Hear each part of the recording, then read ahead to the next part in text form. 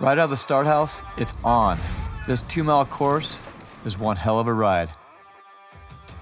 From the beginning, the Mausefalle separates the men from the boys, and it doesn't stop.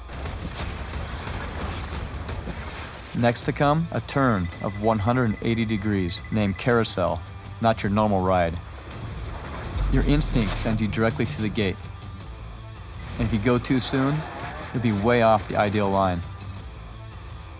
It's critical to nail the timing of this turn. A small drift, then quickly getting into the turn is the ideal tactic. In the worst case, on the low line, you have to fight to get back up. Into the next big challenge, the Steilhang. If you back off, you're going down.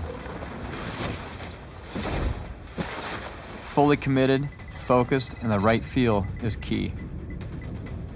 Because of the steepness, you accelerate real fast into the toughest right turn on the whole Hahnenkamm race.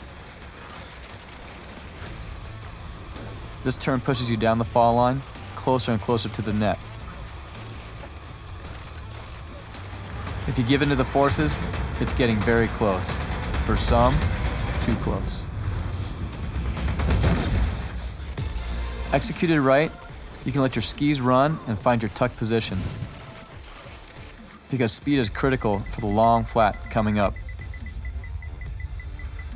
Tight tuck and gentle on the edges. Focusing on the challenges ahead, it's far from over. Especially Hausberg Kante, Traverse, and the Zielschuss.